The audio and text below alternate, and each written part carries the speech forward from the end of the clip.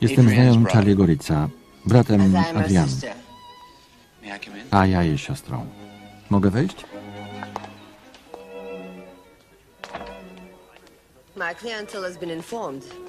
Mówiłam klientom, że niedziele są zarezerwowane dla niemieckich oficerów.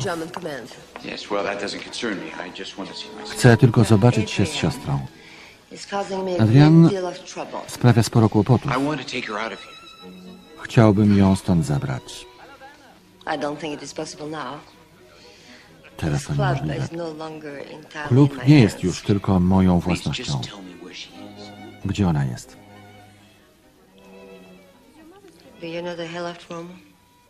Zna pan wiejski pokój? Tak. Czeka tam na klienta.